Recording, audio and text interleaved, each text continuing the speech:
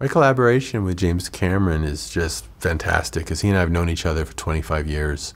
He loves the partnership we have too. He said it's the best collaboration he's ever had with a filmmaker because we were just good friends and I'm a, I'm a huge fan of his work. He always admired what I did. We both came from the same background of scrappy, do it yourself, low budget, you know, rubber bands and popsicle sticks. And, um, and yet he went on to make such huge visionary films. And then I was always dabbling in big special effects and new techniques and 3D and green screen and digital. And so we always wanted to work together. In fact, we tried to work together two other times over that 25 years. So this was perfect project for us to join forces on.